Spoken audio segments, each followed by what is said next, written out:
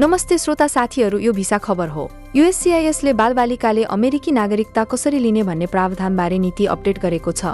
यी परिवर्तनहरू सार्वजनिक प्रतिक्रिया भर्खरको सर्वोच्च अदालतको निर्णय र विद्यमान नीतिहरूमा थप स्पष्टीकरणको आवश्यकताका कारण गरिएको युएससिआइएसले जनाएको छ। आप्रवासन र राष्ट्रियता ऐनले निश्चित परिस्थितिहरूमा अमेरिकी नागरिकका अमेरिका बाहिर जन्मेका छोराछोरीहरूले अमेरिकी नागरिकता प्राप्त गर्न सक्ने व्यवस्था गरेको छ। अमेरिकी नागरिकका अमेरिका बाहिर जन्मेका बच्चाहरूले जन्मजात अमेरिकी नागरिकता प्राप्त गर्न सक्छन्।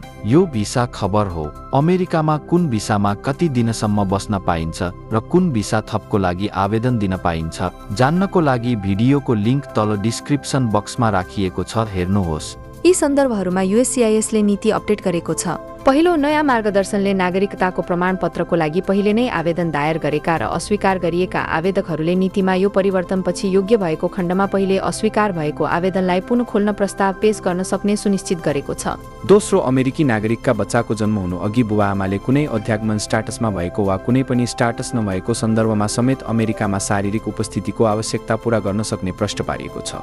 तेस्रो दुई अमेरिकी नागरिक आमा बाबुको विवाहभन्दा बाहिरबाट बच्चा जन्मेको अवस्थामा र बुबाबाट अमेरिकी नागरिकता प्राप्त गर्न नसक्ने अवस्थामा आमाले बच्चा जन्मनु अगाडि अमेरिकामा एक वर्षको निरन्तर शारीरिक उपस्थिति प्रदर्शन गरेर बच्चालाई अमेरिकी नागरिकता दिलाउन सक्नेछन्।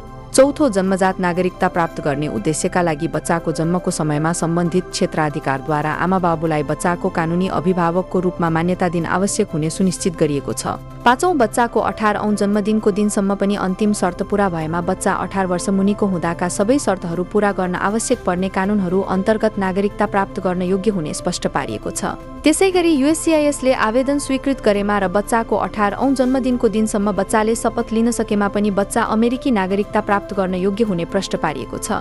छैठौं युएससिआइएसले अमेरिकी नागरिकताको प्रमाणको रूपमा वैध म्याद नसकिएको अमेरिकी राहदानी वा consular report of birth abroad स्वीकार गर्ने प्रश्न पारेको छ। यद्यपि युएससिआइएसले आवेदकले उचित रूपमा अमेरिकी नागरिकता प्राप्त गरे नगरेको पनि निर्धारण गर्नेछ। आवश्यक भएमा युएससिआइएसले नागरिकताको प्रमाणपत्रको लागि आवेदनबारे निर्णय गर्नु अघि विदेश मन्त्रालय समक्ष अमेरिकी राहदानी रद्द गराउन अनुरोध गर्न सक्छ। सातौं युएससिआइएसले आवेदकको अमेरिकी नागरिकताको दावीका अतिरिक्त आवेदकका आमा बुवा वा हजुरबा हजुरआमाको लागि अमेरिकी नागरिकताको दावीबारे पनि निर्णय गर्छ। नागरिकताको प्रमाणपत्रको लागि आवेदनहरू निर्णय गर्दा यदि आवेदकको आमा बाबु वा आमा बाबुको अमेरिकी नागरिकता अज्ञात वा अस्पष्ट भएमा अधिकारीले। आवेदकको नागरिकता आवेदनमा निर्णय गर्नु अघि आवेदकको आमा बाबुको वा हजुरबा हजुरआमाको अमेरिकी नागरिकता स्थिति निर्धारण गर्नेछ। आठौं बाबुआमाको क्रूरताबाट प्रभावित अमेरिकी नागरिकका बच्चाहरूले उक्त नियमको अधीनमा रहेर दायर गरेको नागरिकता आवेदनका लागि आवेदनको समयमा अमेरिकी नागरिक सौतेनी आमा बाबुसँग सौतेनी सन्तानको सम्बन्ध अवस्थित हुन आवश्यक नभएको पनि नीतिमा प्रश्न पारिएको छ। यो अपडेट तुरुन्तै लागू हुने युएससिआइएसले जनाएको छ। साथै अपडेट प्रकाशनको मिति वा पछि पेन्डिङ रहेका वा दायर गरिएका आवेदनहरूमा पनि लागू हुने प्रश्न पारिएको छ। हस्त यो भिडियोको खबर जानकारीमूलक लाग्यो भने कृपया लाइक र सेयर गर्नुहोस्।